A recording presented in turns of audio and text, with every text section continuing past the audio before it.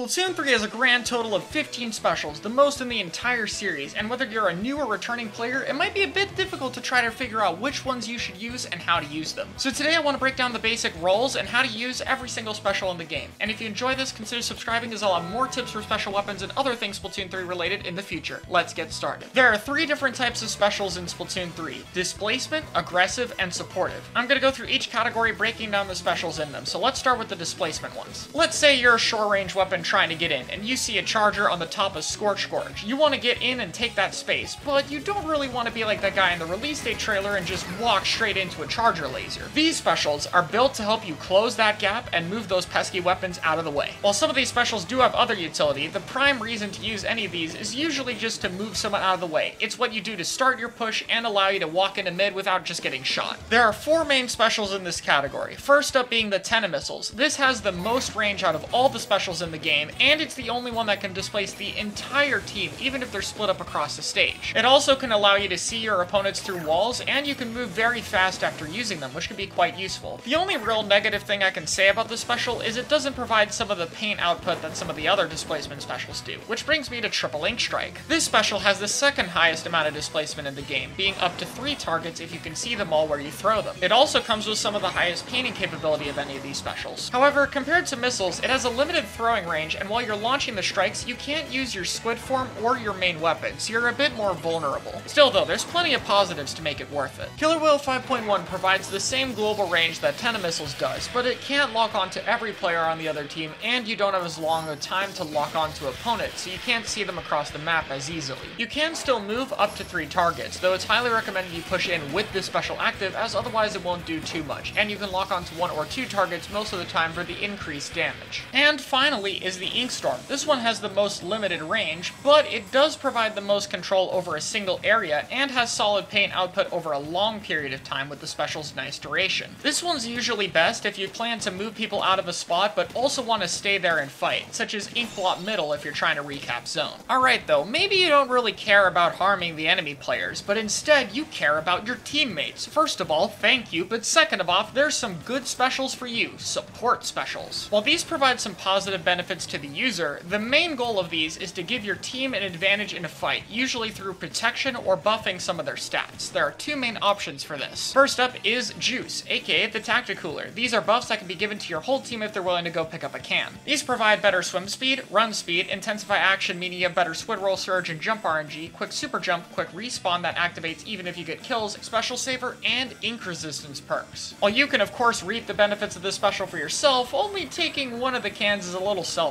so be sure to put this somewhere where the rest of your team can easily get it. Next up is the Ink Vacuum, which allows you to absorb enemy ink and use it to charge a powerful shot at the end, with the more ink you absorb making the shot more powerful. Now, to get the most powerful shot, it's best to help protect a teammate that the enemies want to shoot. Not only does this keep them alive, allowing them to go for crazy plays, but it also means they're more likely to try to stop the ink vacuum, giving you more charge. This special is all about finding the right timing and person to pocket and enabling them in just the right moment to give yourself a nice playmaking power at the end. Now for the last and most common category, and come on, I know this is where the majority of you guys fall into. You just want to use your special to go make a cool play yourself and go kill the enemies. This is aggressive specials. These are usually the most selfish of the bunch and require the least amount of coordination, though they do still benefit from it, and come from a variety in forms, first off being the Reef Slider. This is easily the most simple one. You get on a shark which has you a little bit vulnerable, and then you just slide forward. It's perfect for forcing yourself into an area, and the explosion can provide a good bit of cover and paint near your feet. You can also explode the slider early to catch people off guard. The Crab Tank can also provide a bit of protection with its ball form, though it is a bit slow and does have HP. It's not invincible. However, what this special provides is two alternate modes of fire. You have one standard fire that will ramp up in speed the longer you do it, and an alternate fire that allows you to have some explosions to hit people around corners. Do keep in mind though, compared to the other aggressive specials, this one's very slow, and even turning in its standard fire will not move full speed. You're also vulnerable as you peek out on the top of it whenever you shoot. That special has a lot of ups and downs. Next up though is the Ultra Stamp. This provides the highest damage per second out of any special in the game, as swinging rapidly in front of you just does insane damage, which could be great for breaking other specials and the Rainmaker Shield. Additionally, you have a few modes of options here, as you could jump swing, rush forward normally, and finally, throw the special at the end in order to try to snipe people at a distance, though do keep in mind that ends the special's duration. You don't exactly get it back. This special is still fairly vulnerable. The front doesn't protect you entirely, only a little bit, and the sides and back are fully exposed, though you do move pretty fast. Finally is the Trizooka. This long-range special gives you three powerful shots that can match charger range. However, it's slow to paint its feet, wasting one of its three shots, and it's fairly vulnerable up close. The projectiles themselves are also a bit weird and take a bit to get used to, but the power and range with this special is unmatched. So it'd be cool if it could just be nice and neat and then I end the video with defined categories, but uh, that's not how this game works. You might have noticed there's a few specials I missed, and that's because they have hybrid roles. Let me talk about them here. There are a few specials that just by nature of how they work fit into multiple categories, so I'll try to break them down and explain why they fit into each one, starting with the Booyah Bomb. Now this special is pretty much a displacement one overall. You get a nice vantage point to see the opponents along throwing range, the explosion's a bit bigger than Tri-Strike and lingers a bit longer to force them out of the area a tad more, but it does give you HP, which is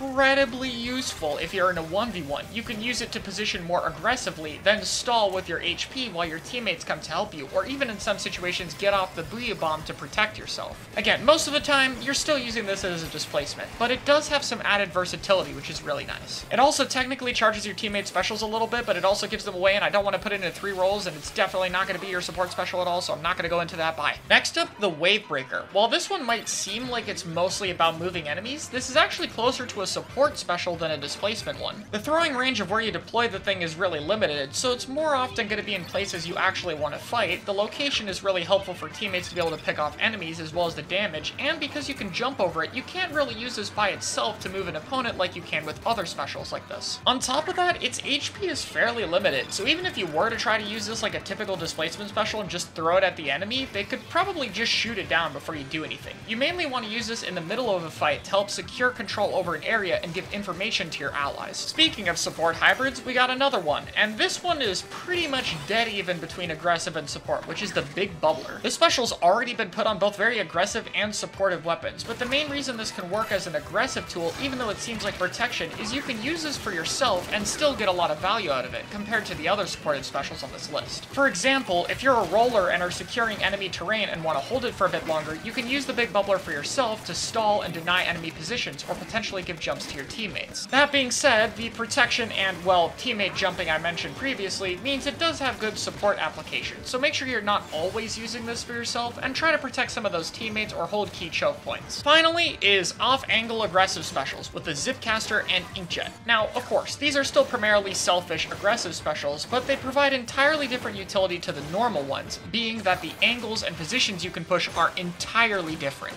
For example, say you're on Turf War Scorch Gorge, but you don't want to have to push through the grades. Most other specials aren't able to do anything, but both of these can create entirely new approach options with how they work. And in some cases, you can even reach completely inaccessible areas to anything else in the game, such as that little graded roof, circle, whatever this thing is, in the same map. Inkjet is a bit better for higher up areas and pressuring people at a distance, while Zipcaster is usually better for getting up close to people, though hey, maybe they'll put this on some mid or long range weapon in the future and you'll be able to use it like a Widowmaker grappling hook and get even more utility. The movement options these provide should not be underestimated. They can be incredibly useful and worth looking at if you're trying to make a plan for a specific map. But with that being said, we've officially covered all 15 Splatoon 3 specials. Here's the complete chart if you want to look at the overview, and I hope this helped you out. If it did, consider subscribing because it helps me out a lot, and I'll see you guys in a future video.